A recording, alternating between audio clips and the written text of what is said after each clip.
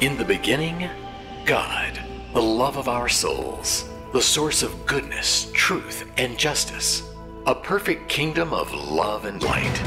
Until war broke out in heaven through one fallen angel who broke God's perfect law. Lucifer coveted God's throne and authority and deceived one third of the angels to rebel against the Holy One. Since that time, Earth is a war zone where the forces of light and darkness, good and evil, truth and deceit battle it out in a life or death conflict. Are you just a spectator or have you taken sides?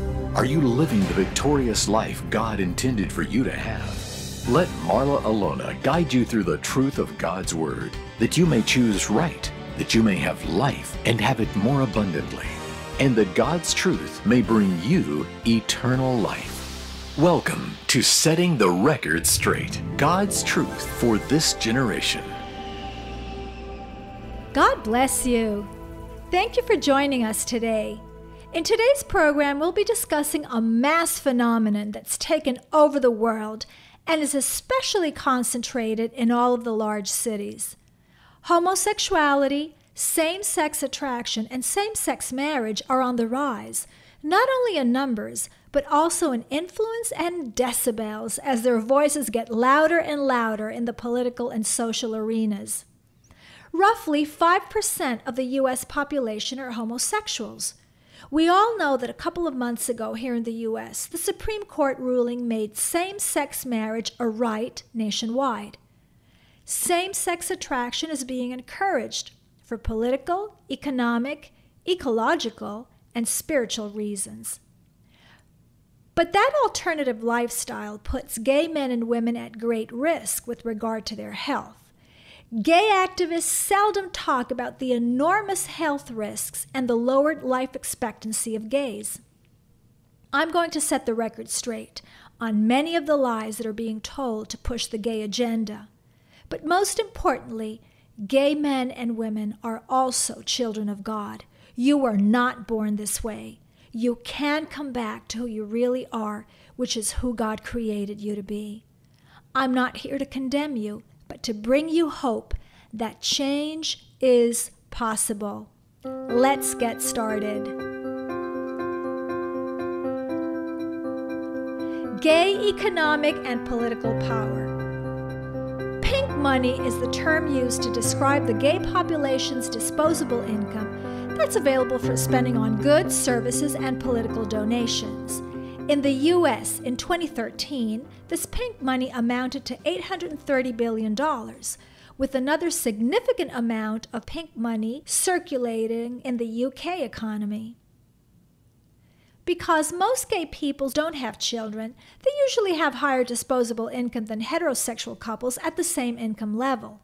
Over 90% of gay people support businesses that target pink money and actively shun anti gay companies.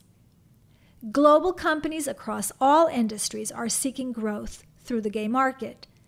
In the past few years, pink money has been one of the top sources of campaign funding for the Democratic Party in the U.S., and several presidential candidates have actively sought these votes. Only last month, Target gave in to pressure from the LGBT, which stands for lesbian, gay, bisexual, and transgender community, and Target announced its decision to remove all gender labeling from the children's toys and bedding departments. The LGBT lobby is also putting increased pressure on government, and we've seen more and more state laws passed. For example, in California in 2013, the state established the Transgender Student Rights Act. According to this ruling, children can choose which school bathroom they go to depending on how they're feeling on any given day. If they're feeling like a girl today, they go to the girl's bathroom. If tomorrow they feel like a boy, they go to the boy's bathroom. There have been attempts to repeal that law, but as far as I know, it's still in place. Given the current trends, it'll just be a matter of time before most states come out with some kind of legislation to completely blur all gender distinctions. Since 1984, most states of the Union have added sexual orientation and gender identity to the hate laws. This means that any person who criticizes gays, lesbians, or transsexuals may be accused of violating a hate law with all of the ensuing consequences. Population control. Agenda 21 is the United Nations Global Depopulation Program. Their goal is to reduce mankind's ecological footprint by reducing the world population from the current 7 billion to only 500 million. That's a 90% reduction. A significant portion of that reduction will come from the US and Europe. What does that have to do with homosexuality, you wonder?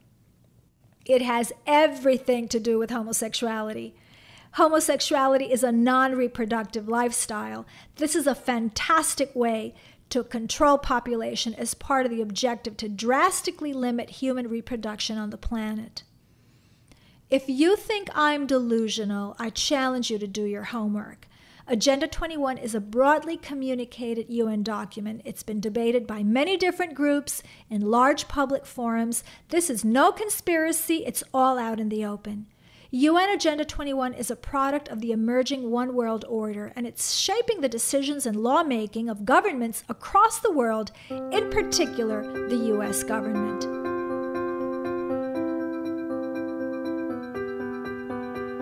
Social engineering. The U.S. is currently a consenting lab for social engineering experiments to encourage homosexual and transgender lifestyles and behaviors that ultimately contribute to population reduction. Most people believe that the gay and transgender agenda is all about freedom freedom to choose whom to love and freedom to marry whom you will. What they're not seeing is the long term, deliberate plan and strategy of the ruling elite. In the New World Order, LGBTs are nothing but a statistic, and their supposed freedom is only a means to an end. The LGBT agenda is being imposed even on preteens, with teachers in middle school teaching about homosexuality and transgenderism. Not only is the government trying to promote homosexuality in public schools, there's also a very insidious blurring of genders going on children in their formative years are being led to believe that they get to choose what gender they want to be. Imagine being 10 years old and being burdened with the potentially life altering decision of choosing whether you want to be male or female. That can create huge levels of emotional stress and trauma, let alone if they choose to be of the opposite sex than the sex they were born with it's been a few years now since I left France and, and, came back to the US, but I am still shocked at the levels of gender confusion I see here among the young people. This human landscape is not normal. When I go into a store, I see the teenagers and young adults working there, and often I honestly don't know if they're male or female. Young people in other countries are nowhere near as gender confused as the young people in this country. And if it's up to the New World Order and the ruling elite, it will only get worse. This is social engineering at its most tragic.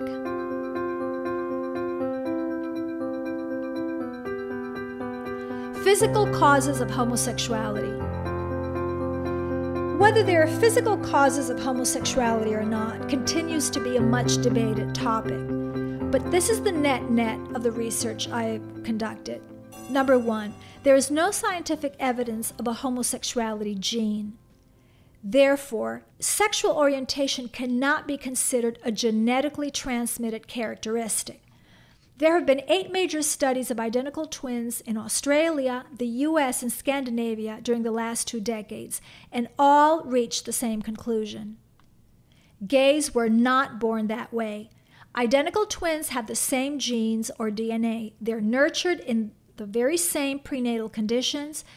If homosexuality is caused by genetics or prenatal conditions and one twin is gay, the co twin should also be gay. But the studies have found that this is not the case. Because identical twins are always genetically identical, this means homosexuality is not genetically transmitted. The causes of homosexuality in one identical twin and not in the other must be post birth factors. Same sex attraction is caused by non shared factors, such as events happening to one twin but not the other, or by one twin having different emotional responses to the same event. Number two, there is some emerging evidence of the effect of hormones and other modern toxic substances, such as phthalates, that may affect the formation of the fetus in the womb and may alter the baby's brain and even genitals. However, there's no reliable estimate of what percent of the homosexual population might have resulted from those types of physical causes. Emotional roots of homosexuality. I've read and listened to a large number of testimonies by gay men and women. In an overwhelming majority of cases, there are common characteristics in their backgrounds and family histories. For gay men, one of the top shared characteristics is a lack of closeness and or a lack of identification with the father. Most gay men didn't have an emotional bond with their father. The father was severe, cold, distant, neglectful, or the father disapproved of them and even rejected them. There was a big need for emotional acceptance and affection from the father that was never met. Most gay men also describe feeling inadequate in their manhood or their masculinity when they were young. They didn't fit in or they felt they didn't fit in and therefore could not connect well with other men. These gay men felt that they didn't and couldn't live up to the male gender stereotype. They didn't feel manly enough. They had a sense of being an inferior male and never felt equal to other males. Their testimonies also reveal that because they were not able to develop into their male role, when they entered puberty, their need for affection and acceptance from other men became sexualized and got projected as a sexual attraction. They weren't able to go out and engage with men socially in normal circumstances and settings, and therefore had to seek that interaction through sexuality. Some of these men compensated for the father's rejection or lack of affection by becoming excessively close to the mother and thereby developing a very feminine psyche. And of course, certain men have been raped or sexually molested at a young age, or others have been exposed to pornography at a young age, and all of this, of course, uh, has distorted their sexual development. For gay women, often the father role is weak with a father who's either sick or absent, even dead in certain cases, or a father who has abdicated from his role as head of the household, with the woman taking over. This leads young girls to feel a lack of respect for the male role, and all of this is just emphasizing how important the role of the father is as high priest of the home, something that's emphasized in scripture.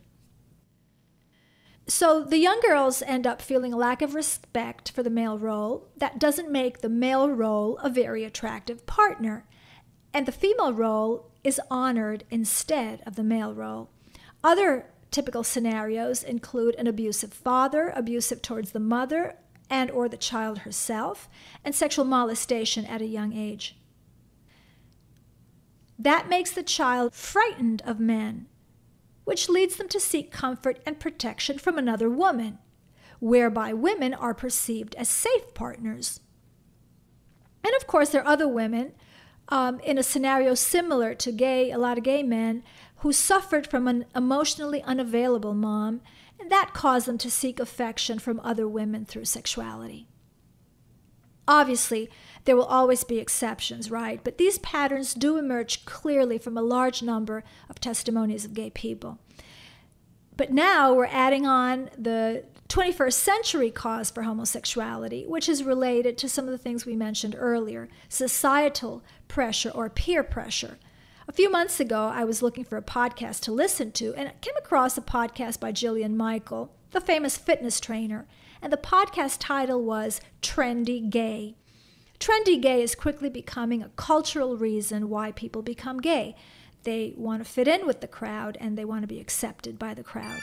You're listening to Setting the Record Straight God's Truth for This Generation.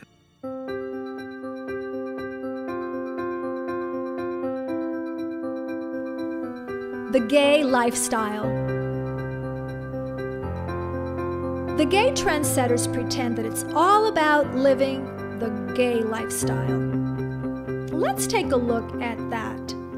Most gay people will admit that the choice of living a gay life is fraught with stress and that same sex relationships are very volatile. Same sex relationships between men break up at twice the rate of heterosexual relationships.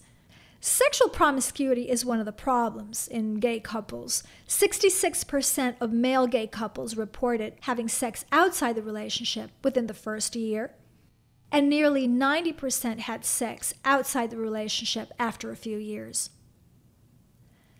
The most important statistic to consider, however, has to do with life expectancy. On average, the life expectancy of homosexuals is a staggering 20 years less than heterosexuals. I'm sure your gay friends aren't telling you that. They may not even be aware of it themselves. I can't even begin to tell you how many friends or acquaintances of mine who were gay passed away, most of them in their 20s and 30s, and a few in their 40s. Why is there such a gap in life expectancy between gays and heterosexuals. It's because same sex sex is counter to nature. Our bodies were designed to have intercourse with the opposite sex. When we engage in sexual relations with people of the same sex, we put great stress on our bodies and put them at high risk of damage and disease.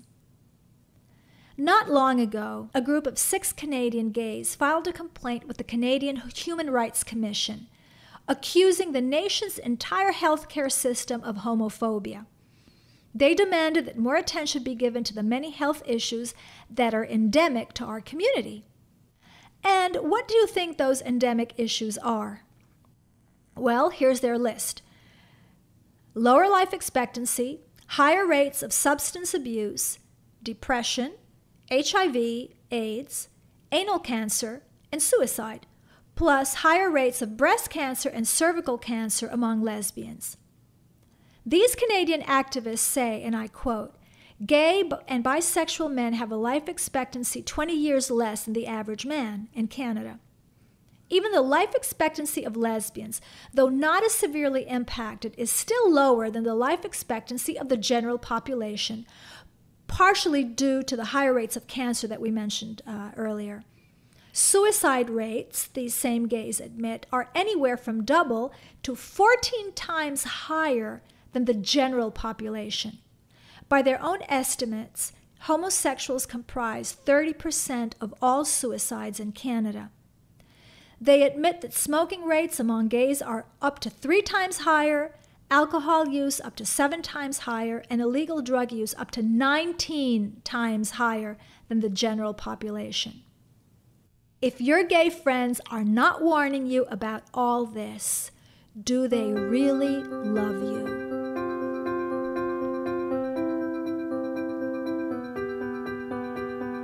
Health risks of same sex sex. God designed us perfectly, but when we step outside of His plan for us and engage in activities our bodies weren't designed for, we damage our body temples, and the end is usually tragic. Listen to this Bible verse in Romans 1 26 and 27. For this reason, God gave them up to vile passions, for even their women exchanged the natural use for what is against nature. Likewise, also the men, leaving the natural use of the woman, burned in their lust for one another, men with men committing what is shameful, and receiving in themselves the penalty of their error which was due.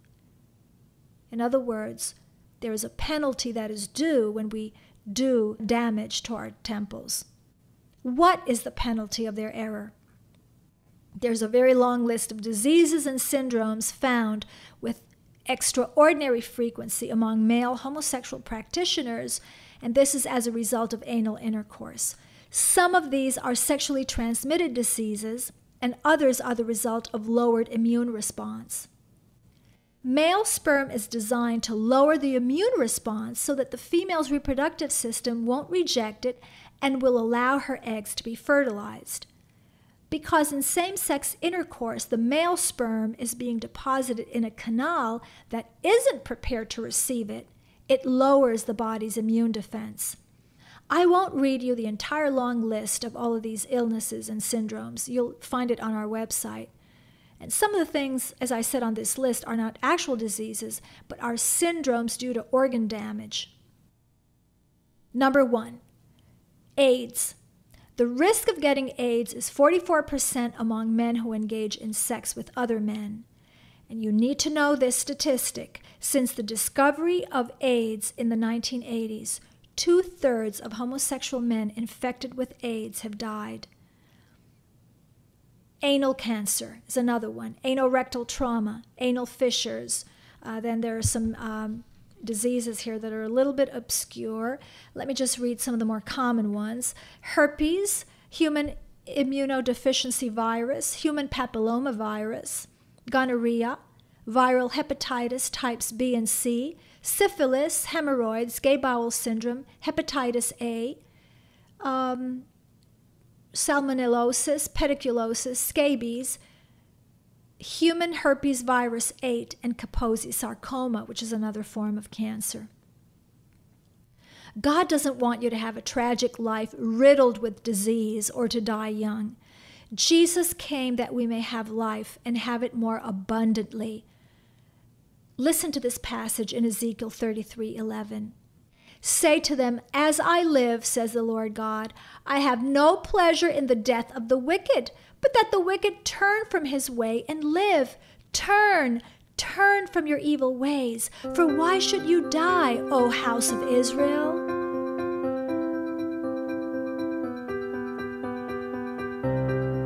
Turning away from the gay lifestyle. Change is possible. Homosexuality or transgenderism is not who you are. It's not who God created you to be. Male and female, He created them. He intended for man to be married to a woman and for a woman to be married to a man. For this purpose shall man leave his mother and father and cleave to his wife. You're hurting yourself physically, emotionally, mentally, and even socially by choosing to be in this alternative lifestyle. I'm sure at this point, you're thinking, I didn't choose this. This is stronger than me. I can't control this attraction. I don't know how to stop feeling what I feel. Let me tell you this there are many testimonies of successful change, many more than your gay activists would have you believe. Men who thought they were hopelessly homosexual marry and have children. Marry women, I should say, and have children. Women who identified themselves as lesbians walked away from the lifestyle, from the sex, the drugs, the friends, and started a new life. And they are successful. If you want to change, you can change. The God I serve is a mighty God. With Him, all things are possible. Nothing is too hard for the Lord. What is required is a true desire for change, a firm decision to change, and the determination to stick it through until you get the victory.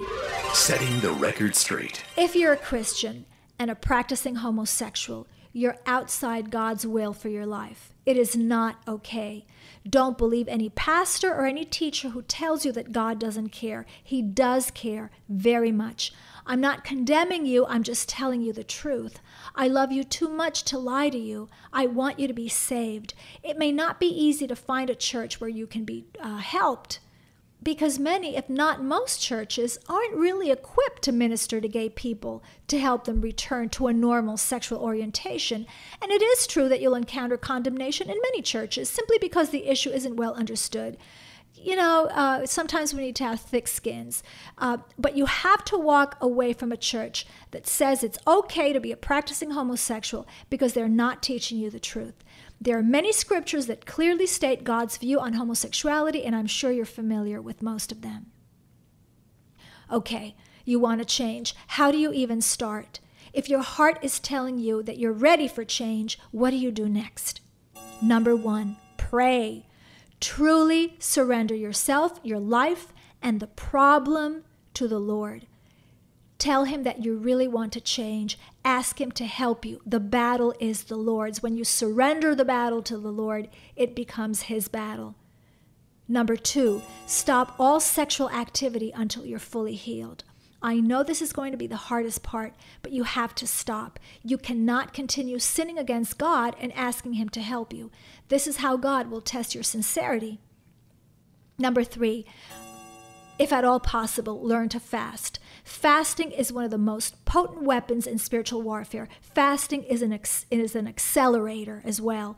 There's a demonic element in homosexuality. Most homosexuals are not demon possessed as I define possession, but there are several levels of demonic intervention in homosexuality.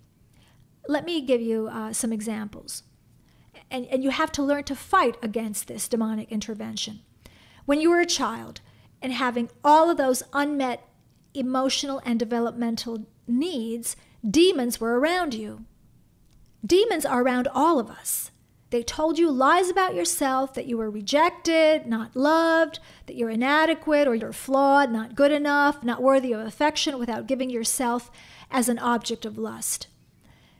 When you believed their lies and became an active gay or lesbian, your behavior opened the door to more demonic influence. When we sin, we give the enemy the legal right to enter our lives. As a result, the enemy is wielding some amount of control over your life. This is why it's so important that you surrender full control of your life to Jesus so that he may fight those battles for you and defeat the enemy on your behalf. As long as you're holding something back, Jesus will not fight the battle for you. Then, when you decide to change, you're going to face demonic opposition. they they'll harass you, they'll torment you, they'll lie to you and say you can't change. They'll discourage you when the going gets rough, they'll try to make you backslide, feel defeated, but you can't give in. You cannot give in. Number four, should you get deliverance? This is tricky. My own experience with so called deliverance um, has been quite negative. Most people out there who claim to be in the deliverance ministry are actually on the other side. Some because they're witches in disguise, and others because they're inadvertently being used by demons. I had a few, not many, but I had a few deliverance sessions go uh, really bad and ended up with the problem getting much, much worse than it had been initially. And therefore, the painful lesson I had to learn was to trust in the Lord and wait on Him. If you pray and fast, if you disengage from the gay lifestyle, you start serving the Lord and diligently seeking Him, He will send you the prayer warrior or the man or woman of God who will deliver you. Or He may even take care of it through some intercessor that you may not even know and you may never ever meet. This is one of the ways in which I was finally able to experience true deliverance. Number five, join a church where they teach the truth and start serving the Lord. In all your ways, acknowledge him, and he shall direct your paths. You shall be healed by the grace of God and the power of his Holy Spirit. This is what I speak and I declare over you. You shall be healed. You can do it. You can do all things through Christ who strengthens you. You are a new creation in Christ. You are more than an overcomer through Him who loved you. And for the rest of us, for all of us, the legalization of gay marriage across the U.S. is a flashing neon sign, a huge prophetic sign. Marriage and the Sabbath were the two institutions that God created in the beginning, before sin. We're now witnessing the destruction of marriage as God created it. Next will come the trampling of the Sabbath through enforced Sunday worship. The reversal of everything God established at creation, everything that has been recorded in the book of Genesis, will have been accomplished. And that means that Jesus is coming soon. He's even at the door. Get ready. If you confess with your mouth the Lord Jesus and believe in your heart that God has raised him from the dead, you will be saved. For with the heart one believes unto righteousness, and with the mouth confession is made unto salvation.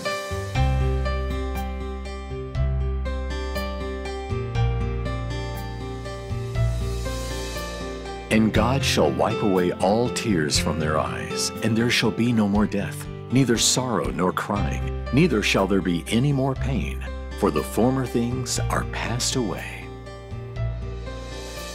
Thank you for listening to Setting the Record Straight God's Truth for This Generation. If you've been blessed by this program, we encourage you to share it with others. To ask any question related to this Bible study or any other spiritual matter, email us at info at citybiblegroup.com. To find out more, visit our website at citybiblegroup.com. Hi, I'm Marla Ilona. Thank you so much for studying God's Word with me. Please click on the subscribe button below and you'll be blessed with many more powerful truths for our generation. Jesus is coming soon. Are you ready?